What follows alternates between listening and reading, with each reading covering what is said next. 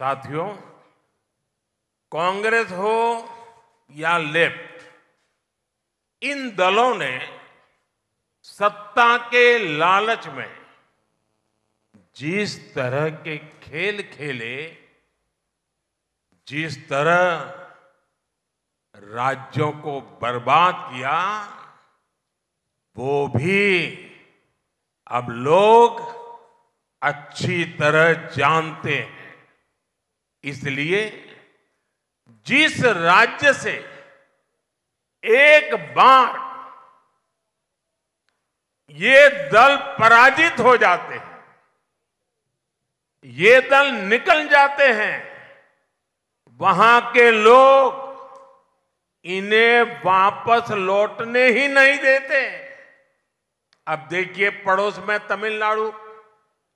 तमिलनाडु में कांग्रेस ने 1962 में आखिरी चुनाव जीता था। यूपी, गुजरात, बिहार में भी कांग्रेस ने चार दशक पहले, फोर डेकेट पहले आखिरी चुनाव जीता था। ओडिशा में भी कांग्रेस तीन दशक से सरकार से बाहरी है। देश के कितने ही राज्यों में आज कांग्रेस का एक मेंबर ऑफ़ पार्लियामेंट भी नहीं है। अब आप देखिए त्रिपुरा,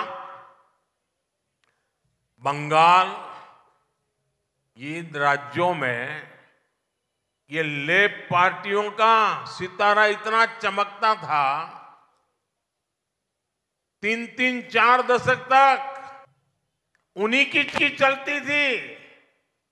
लेकिन एक बार जब लोगों ने त्रिपुरा से उनको हटाया, बंगाल से लेपपालों को हटाया, उसके बाद कितने ही साल हो गए, कांग्रेस को और लेफ़्ट को ये कोई घुसने नहीं देता है।